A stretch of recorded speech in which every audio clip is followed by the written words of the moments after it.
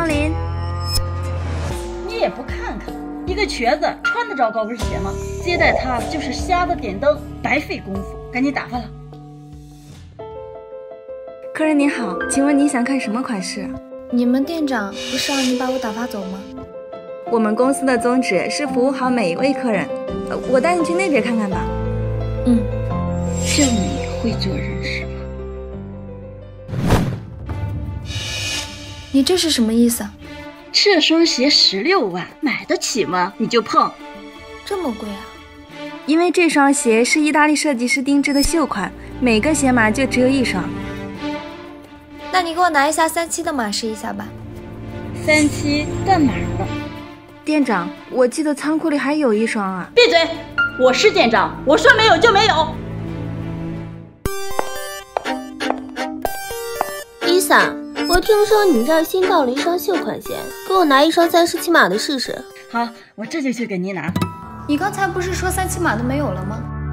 这里可是奢侈品鞋店，我们的服务只提供给高端的客人。你也不看看自己配不配？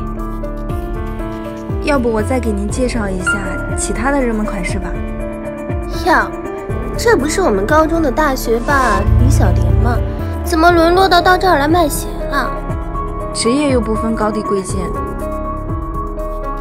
丽丽小姐，我来帮您试穿哈。不用了，我要他帮我试。不好意思啊，我这边还有客人没服务完呢。Lisa 呀，你们店的服务态度可决定着我要不要继续在你们这儿续黑卡会员呀。李小玲，你到底还想不想转正了？一个残废有什么好服务的？还不赶紧过来帮丽丽小姐试穿？没事儿，你先去吧。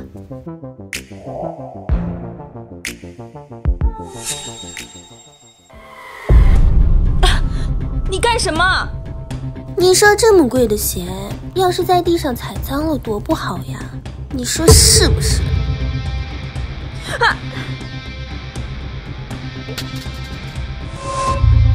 你干嘛？当然是发到咱们同学群了，让大家看看曾经大学霸的贵式服务，还能顺便帮你打波广告吗？小莲，你没事吧？